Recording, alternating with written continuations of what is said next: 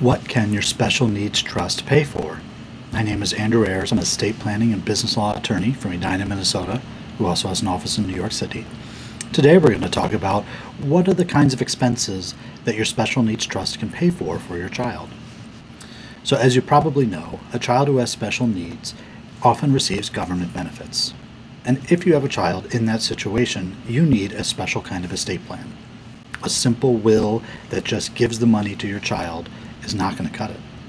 You could be endangering their government benefits, and then they would be cut adrift with only the money left under your will to live by, and chances are nobody to help them manage it. So, what we do to get around that problem is we create what's called a special needs trust. There could be three main kinds of special needs trust that we tend to work with.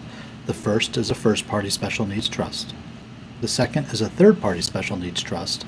And the third is a pooled trust. Regardless of what kind of trust you use, the most important part is to make sure that you're not endangering your child's government benefits. So, for example, there's some things that your special needs trust cannot pay for. Can't pay for food, shelter, clothing, or medical care. These four things are covered by their government benefits. And if you leave money behind for them, whether in a trust or whether you're giving it to them directly, that can be used for those type of expenses, then the government will stop paying the benefits.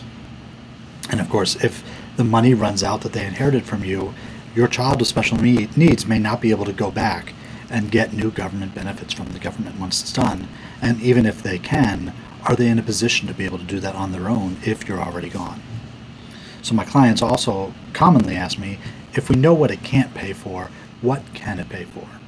Some examples of things your special needs trust can pay for are transportation expenses, vacations and travel, starting a business, which is one of those things that a lot of people ask me about. Say, well, why would my child with special needs want to start a business?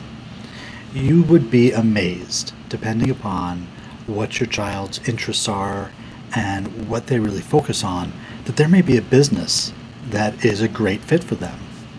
I know of somebody whose daughter with special needs started a dog grooming business, and she is doing a fantastic job. Now, she needs help running the business. She needs a lot of support. But at the same point, she is able to own this business and run this business because when she gets in there, into work of the day, and she's grooming the dogs, and that's what she loves to do, you know, her smile lights up the room. And that's a great use of funds from your special needs trust.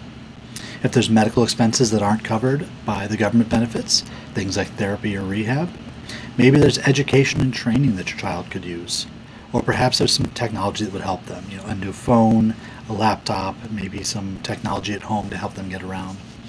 If they run into any kind of illegal trouble, let's say they've been in some kind of an accident and they have to have a lawsuit, and they need an attorney to represent them to make sure they get a good reward.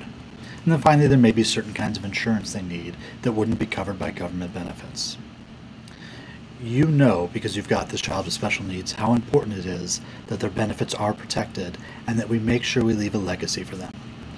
So if you want to look at what kind of things your special needs trust can pay for, or you're not sure and you want to talk it through further, let's set up a legal strategy session.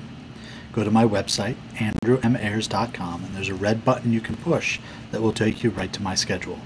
We can set up a complimentary legal strategy session to review the best options for you and your family. It's very important when you're setting up a special needs trust that you know what that special needs trust can pay for.